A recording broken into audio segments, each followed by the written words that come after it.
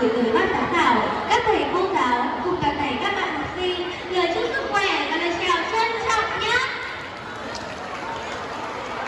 Con xin tự giới thiệu, con tên là Bùi Văn Anh, đại diện cho chi đội 6A5, thuyết trình về tranh cãi chủ đề mùng 8 tháng 3 do nhà trường phát động. Đến với cuộc thi, chi đội lớp 6A5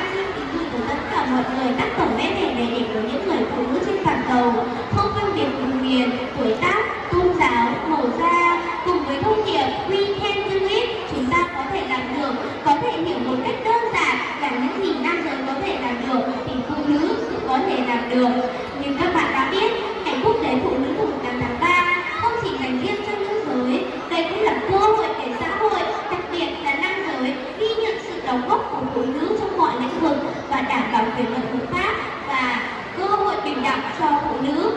Đã qua rồi, thời kỳ phụ nữ phải sống như cây cầm tuổi nữ công gia tránh dâu hiền công thảo, dần dần đã không còn là, đã không còn là tiêu chuẩn để đánh giá một người phụ nữ. Phụ nữ ngày nay đã không chịu bó chân cho những căn bếp nhỏ hay thu mình cho vỏ bọc của gia đình, họ trọng cách bước chân vào ngoài xã hội làm việc và tự nuôi sống bản thân thậm chí còn thậm chí còn giữ rất nhiều vị trí quan trọng trong công nghiệp hiện tại trên thế giới có rất nhiều người phụ nữ là những nhà lãnh là những nhà nghiên cứu khoa học hàng đầu và đạt giải Nobel ở nhiều lĩnh vực khác nhau. Rất nhiều người phụ nữ trên thế giới đứng trong hàng ngũ lãnh đạo cao cấp tại Việt Nam tỷ lệ phụ nữ là lãnh đạo cao cấp chỉ đến khoảng 36%, đứng thứ hai trên toàn thế giới. Phụ nữ hiện đại hiểu được rằng để có được một cuộc sống hạnh phúc như mình mong muốn thì cần phải sống theo chính mình. Phụ nữ ngày nay không chỉ dành thời gian cho công việc hay đầu tất mặt tối chăm sóc cho gia đình, họ chủ động dành thời gian cho bản thân, tận hưởng cuộc sống và cảm nhận được hạnh phúc ngay cả khi bận rồi. Phụ nữ hiện đại là suy nghĩ tích cực, sống vui, sống khỏe mỗi ngày. Họ làm đẹp vì chính bản thân mình chứ không phải vì bất cứ ai. Họ luôn trau dồi kiến thức, kinh nghiệm trong công việc, trong xã hội để sắc đẹp luôn song hành cùng trí tuệ. Sự tự chủ này không chỉ khiến cho phụ nữ trở nên hạnh phúc, yêu đời mà còn đủ năng lượng để lan tỏa tới mọi người xung quanh nữa. Từ trước tới nay, người ta vẫn coi phụ nữ là tài yếu,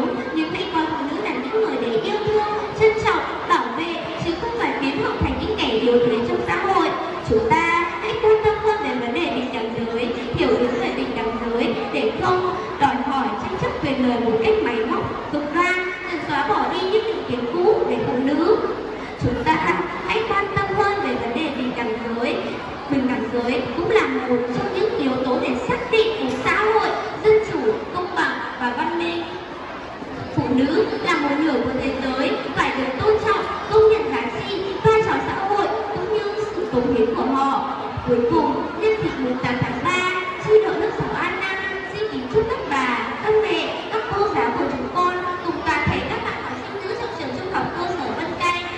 riêng và toàn thể phụ nữ trên thế giới nói chung luôn luôn khỏe mạnh, tươi vui mỗi ngày, lúc nào cũng xinh đẹp như những đóa hoa.